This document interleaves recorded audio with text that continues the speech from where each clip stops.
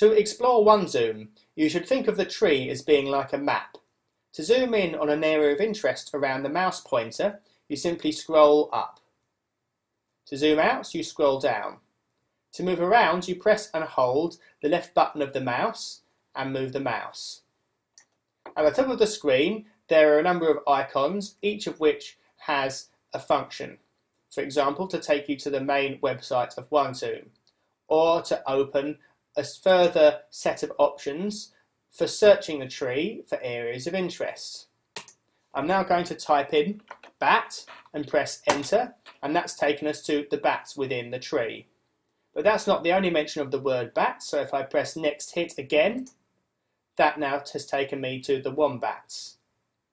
You can choose whether to search within the Latin names, common names, and conservation status of species by ticking and unticking these boxes here. For example, I'm now going to clear this search and type in endangered. That's now taken me to a part of the tree where there's a high concentration of endangered species. We can zoom in on any one of the leaves to see the names of the species, link to Wikipedia, and also confirmation of their conservation status.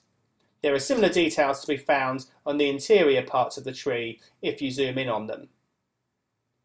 This tick box here, next to flight animation, enables you to go to the next hit of the tree, not immediately, but with an automatic animation through the tree, which you can stop at any time by simply proceeding to browse a tree in a normal way, and the flight animation will stop. These lines that show the places of the tree where the search hits are can be turned on and off with the markings tick box and the end there. I'm now going to close out of the search options bar and open the next icon, which is the growth animation. This is now showing a scaled time animation of the tree growing, that part of it which is currently in view.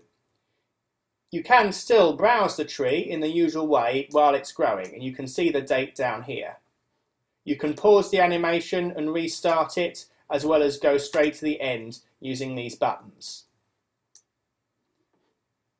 The View Options bar opens up a number of settings for the way the tree looks. It's still the same data, but you can view it with three different structures. The spiral structure, this natural structure, which shows the balance of the tree, and also this third option here. You can change the colours from the current settings, the default, which ranges from green, indicating species that are under the least concern category of extinction risk, to bright red for those that are critically endangered. There's also a plain colouring setting and colours that indicate the period of geological history where that part of the tree was diversifying. For example, here the red is the Cretaceous period and the purple is post Cretaceous. You can turn off these white labels if you don't like them by switching signposts on and off. You can also choose between Latin names and common names as being the primary labelling system. Although if you zoom in far enough, you will always see both the Latin names and the common names. This only switches which of the two you wish to be more prominent. Finally, this reset view enables you to go back to the original view of the tree. You can also open this tutorial by pressing the question mark button and there are a number of further options in this more options bar, including increasing and decreasing the detail, showing the polytomies, which are uncertainties in the structure of the tree. They're indicated with these circles here, or with a complete break in the tree. And finally, you can see how many times you've zoomed into the tree in the current view. I hope you enjoy exploring the tree of life using OneZoom. Thank you.